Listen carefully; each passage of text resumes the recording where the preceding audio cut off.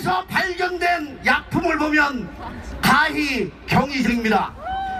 박근혜 씨의 창조 경제는 우리는 박근혜 씨를 청와대에 국정을 살피라고 보냈는데 이 사람은 청와대를 미용샵과 러브 호텔로 바꿔놨습니다.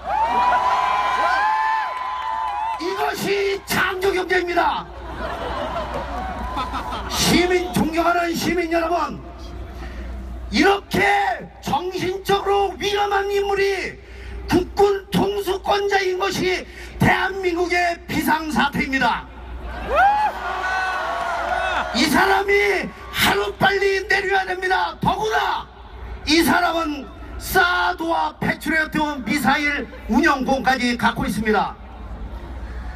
전쟁도 불사한 사람입니다. 이 사람을 하루빨리 1분 1초 빨리 내려오게 하는 것이 국가 안보와 국정 회복과 헌법 질서를 위해서 저는 좋다고 생각합니다. 동의하십니까?